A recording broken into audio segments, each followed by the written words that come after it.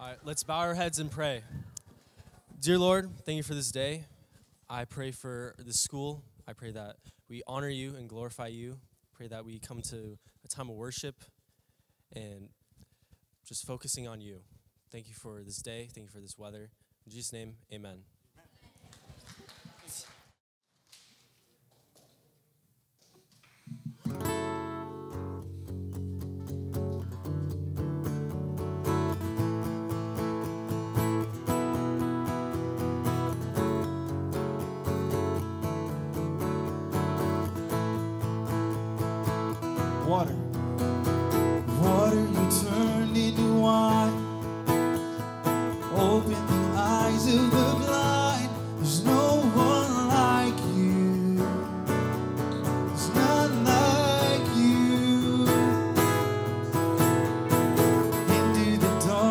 te chama.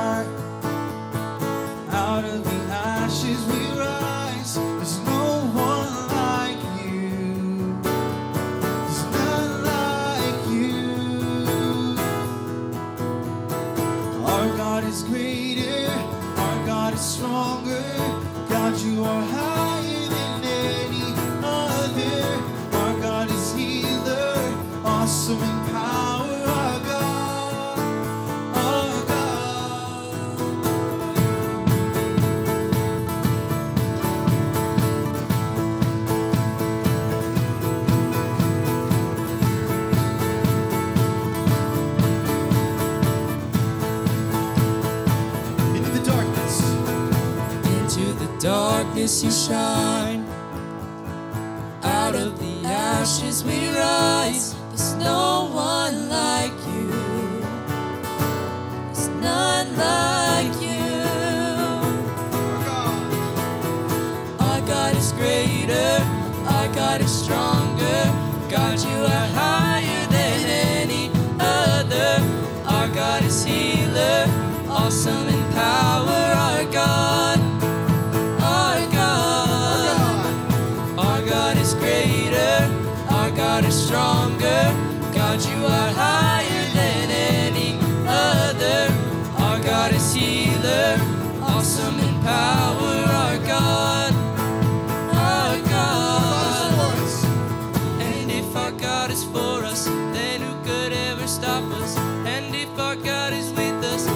jag stand snäll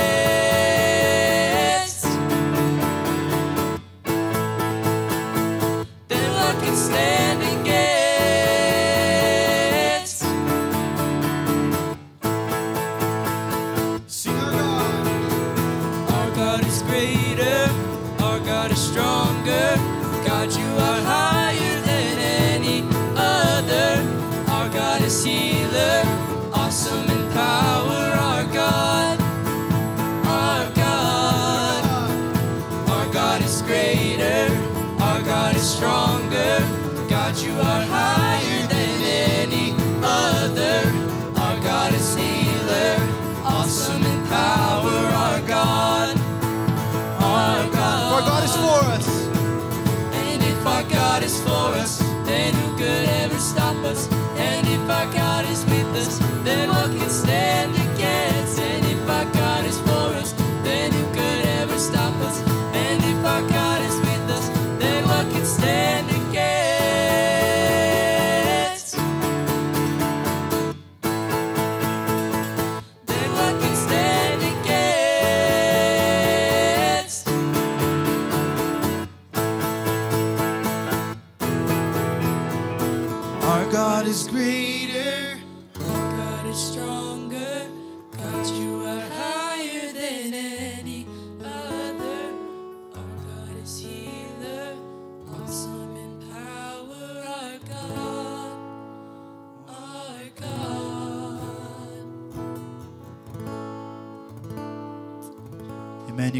seated.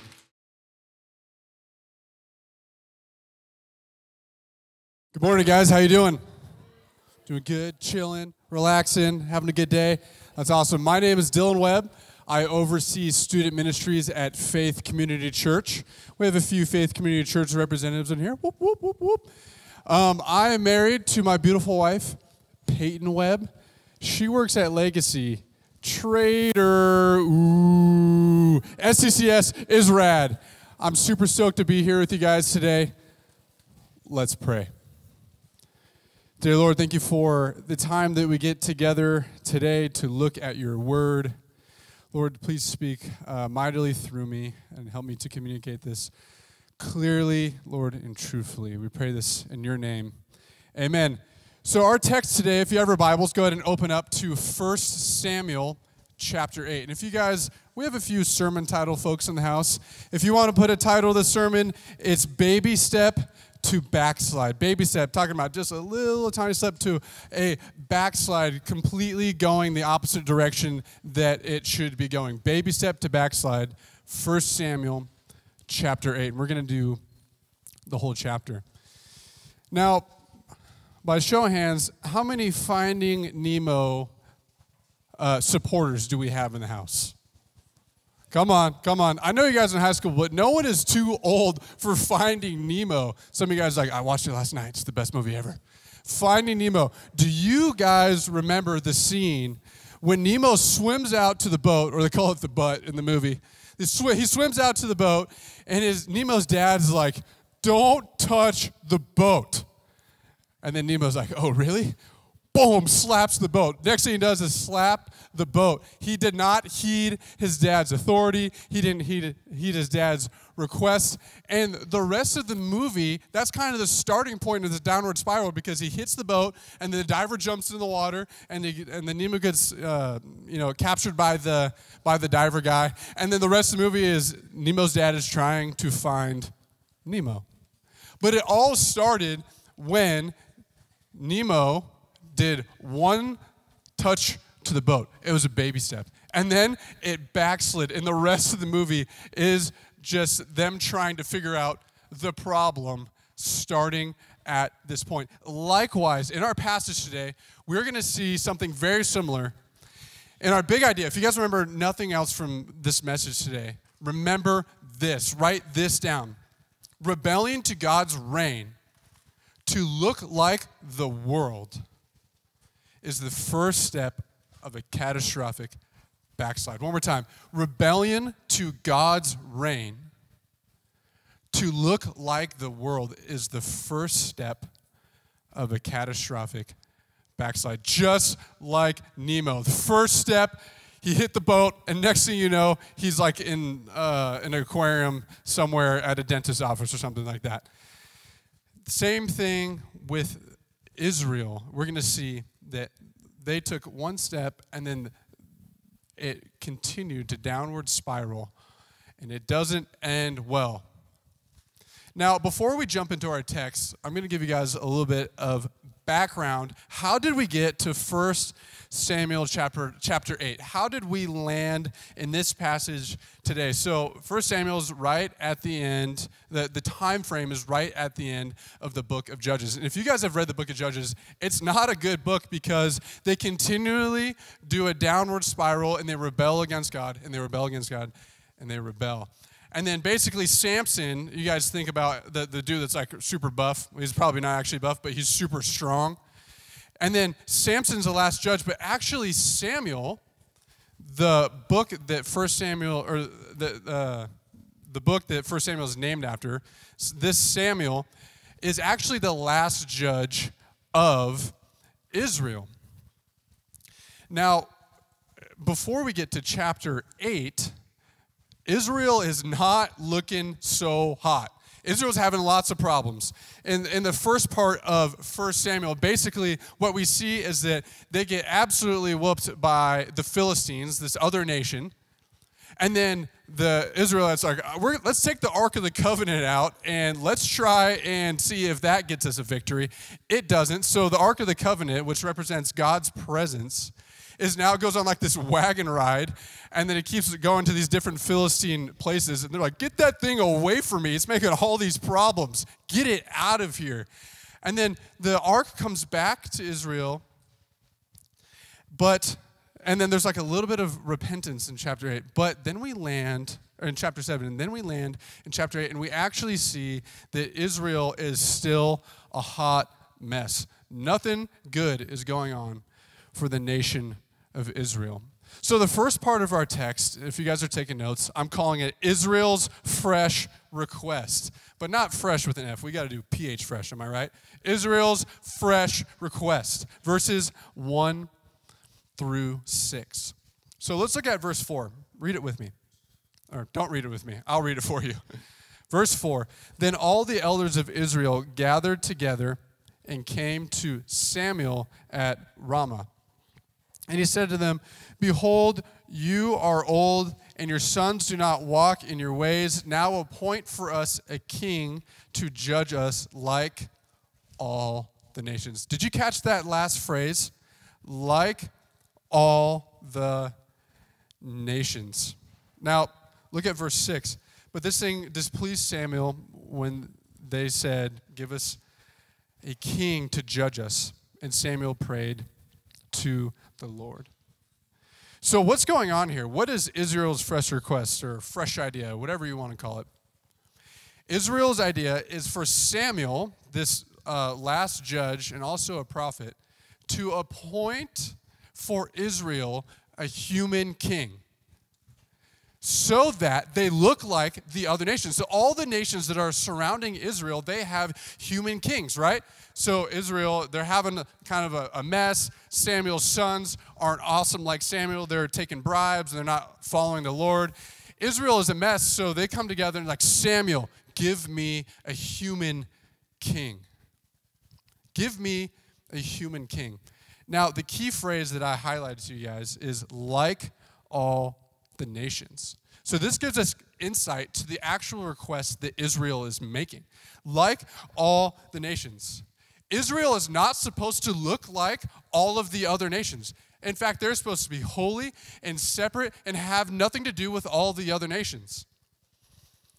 Go back to this verse uh, in, in your own time. I'll uh, write it down though. Leviticus 20, 26. Leviticus 20, 26. And this is throughout all of the Old Testament, by the way. But just this reference I'm going to read for you guys. You shall be holy to me. So this is God saying to the people of Israel, You shall be holy to me, for I, the Lord, am holy, and have separated you from. I lost my place. Where to go? Separated you from the peoples that you should be mine. So, what is God saying? He's saying that you should be holy like I'm holy. You shouldn't look like the other nations. You should have nothing to do with them. You are supposed to be completely separate. So, when you're saying, anoint for me a king so I look like the other nations, that's a big problem. That's Israel's problem of rebelling against God. If you look all the way through the Old Testament, tracing up to this point, I mean, this started in Genesis with Abraham and when God says, I'm going to make a nation from you. So God picks a nation, He picks a people separate for Him. He says, You are mine. And then you get to the book of Exodus, and He takes all of His people, God's people that are supposed to be separate, He takes them out of Egypt and He brings them to the wilderness and to the promised land. Why? Because they're supposed to be separate and holy, and they're supposed to be God's people. And then you get to the to like Leviticus have you guys, you guys ever tried to do the Bible through year plan? Usually you guys like get to Leviticus and you're like, what is he talking about? What am I supposed to do with these birds? It's what all this is about is all these specific laws so that Israel does not look like the other nations and they need to obey so that they are able to have a relationship with God. Once again, they're supposed to look like the other nations. That's reflected in the whole entire law. And then you get to the conquests of Joshua when they're wiping out all of these nations. Why is that important? Why is why are the people in Joshua wiping out the nations? That's because they the other nations are not following God. They're not God's people and they're inhabiting the land that God's people are supposed to be living in. So, all of the context leading up to this point is God setting apart a people for himself, and they are not supposed to look like the other nations. So, when you get to this phrase, you get to the phrase, uh, we want to look like the other nations. there's lots of weight. There's a big problem here. It shows their rebellion. So you get there, and they and they're saying to Samuel, "I want to look like them." Red flags should be going up. You guys should be like, "What are you talking about?" God chose us. God picked us, and we don't want to follow God? Oh my goodness, we want to look like the other nations who are not following God at all? Red flags should be flying up for you guys. Don't do it, Israel. That's a bad idea. Now, what does God say? So, this next part is God's response, verses 7 through 18. God's response, verses 7 through 18. Look down at verse 7. And the Lord said to Samuel, Obey the voice of the people and all that they say to you. So God's saying, Samuel, give them a king. If they want a king, obey it, give it to them. For they have not rejected you, they have not rejected you, Samuel, but they have rejected me from being king over them. This is a crushing verse that you should sit on and think about that they are rejecting God's reign as their king. They're saying, I don't want God to reign over us. We want somebody else. They rejected God by this request. So the solution to Israel's problems isn't give us a king who a human king. It's actually hey israel you need to start following god with everything that you have. You need to start obeying the covenant. Jump down to verse 9 now then so this is god saying to samuel now then obey their voice. Only you shall solemnly warn them and show them the way the ways of the king who shall reign over them so samuel is told to warn Israel.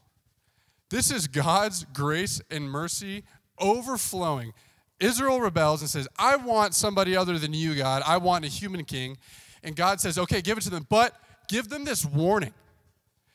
There is going to be consequences to this request. If I give this to you, there are going to be repercussions. And how about you let them know and give them another opportunity? Praise the Lord that He gave them another opportunity. Now, look at the warnings of what a human king would be like. Look at verse, verses 11 through 18. It's kind of a big chunk of scripture, but it's important to read, so I'm going to read the whole section of it. Look at verse 11. He said, There will be, uh, yeah, he said, These will be the ways of the king who will reign over you. He will take your sons and appoint them to his chariots and to be his horsemen and to run before his chariot. So basically, this human king, he's going to take your sons and he's going to put them in war. Verse 12, and he will appoint for himself commanders of thousands and commanders of fifties, and some to plow his ground and to reap his harvest and to make uh, his implements of war, which are just weapons, and the equipment of his chariots. So he's going to put your people to hard labor. Look at verse 13. He will take your daughters to be perfumers or perfume makers and cooks and bakers. He will take the best of your fields and the vineyards and olive orchards, and he will give them to his servants. So he's going to take your daughters and put them to work. He's going to take the best of what you have from your crops and from what you do for your job. He's going to take the best of it. And he's going to take it for himself, and he's going to distribute it as he pleases. Verse 15, he will take a tenth of your grain and your vineyards and give it to his officers and his servants. He will take your male servants and your female servants and the best of your young men and your donkeys and put them to his work. He will take a tenth of your flocks, and you shall be his slaves. This is the nature of a human king oppressive. He's going, basically, Israel, if you do this, you are going to be slaves to this king. He's going to be oppressive. He's going to take the best of what you got. There's going to be taxes. He's going to take uh, your sons and daughters and put them into war. And look down at verse 18. And in that day, you will cry out because of your king, whom you have chosen for yourselves. But the Lord will not answer you in that day. So the rule of a human king is going to be oppressive, selfish, and will result with them in slavery. If I can put an umbrella term over a human king, if there's an umbrella term for this list, and and this list could be greatly expanded, it's one word, it's sinful. It's sinful. Israel is saying, I don't want a holy, sinless, perfect God to reign over us anymore. Give me a human, sinful king. I don't want God to be our king. I want a sinful human king. This is like the scene in, uh, in, in Star Wars. We have some Star Wars fans in the house. Yeah, we got some Star Wars fans. This is like when Anakin is like about to go to the dark side, and you're sitting there and you're like, don't do it, man. Don't become Darth Vader. What are you doing? Stay on the good side. Stay on the winning team. Stay on the winning team. Don't do it, Anakin. Israel's second chance. So look down at verses 19 through 22. What does Israel have to say to all of these warnings? What does Israel have to say to Samuel and ultimately to God, who just gave them another opportunity? Look at verse 19. But the people refused to obey the voice of Samuel. And they said, No, but there shall be a king over us. Verse 20. That we also may be like all the nations. Boom, there's that phrase again. And that our king may judge us and go out before us and fight our battles. 21. And when Samuel had heard all the words of the people, he repeated them in the ears of the Lord. And the Lord said to Samuel, Obey their voice and make them a king. Samuel then said to the men of Israel, Go, every man, to his city. So they said, I don't want God to be our king. I want a human king. Despite all the warnings that you gave us, appoint for us a king still. Now, in youth group at Faith Community Church, we're looking through the time of Israel's kings. So you could say Ruth through uh, Second Kings, or you could even say Second Chronicles. Now, the end of the story, if you stop at, at Second Kings, it ends with Israel being taken captive and being sent off to another nation. In fact, what happens is a, a, human king gets anointed, and another one gets anointed, and another one comes through, and another one comes through, and another one comes through, and they're all sinful human kings. None of them measure up to God. Not one of them. And if you read all the way through, it ends not on a high note. Israel does not end on a high note at Second Kings. It ends on a low note, being sent off to a land and a nation that is not their own. Now, this all started, the story starts here. But it starts as a baby step. Can't you see that they didn't like go to God with pitchforks and like, you know, throw torches at them. No, they're like, how, I have an idea. How about you do this? It wasn't full fledged rebellion necessarily. It started as a baby step, an idea. And then where does it end? It ends with Israel in exile. It doesn't end well, and it all started at the baby step. It's like Nemo hitting the boat. It all started there, and then where does Nemo end up? He ends in a land that's not his own. He ends in a fish tank in a dentist's office from the great big ocean. Same exact thing, and it all starts with a baby step. Can you guys see it? It's the same thing for us today. The story is no different. If we are God's children, if we belong to God, if we've been reconciled to God, we have been set apart and adopted into the family of Christ.